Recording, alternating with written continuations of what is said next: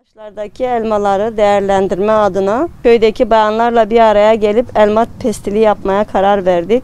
E, tabii bunları imece usulü yaptık. E, çok şükür elhamdülillah e, meyvesini de aldık. İlk önce elmalarımızı topluyoruz, ayıklıyoruz.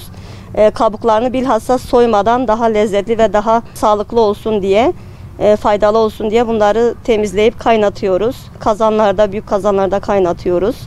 E, doğal ortamda doğal ateşle yapıyoruz tabii bunları. Tabii bayanlar evde daha az bir, e, yapabilirler bunları.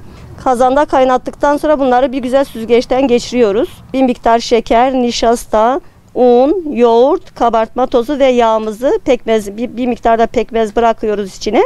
Daha lezzetli bir tat olsun diye.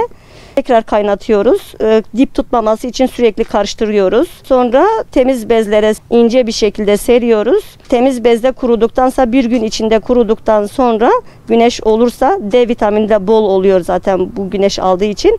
D vitamini de yüksek. Çocuklarda malum D vitamini çok önemli.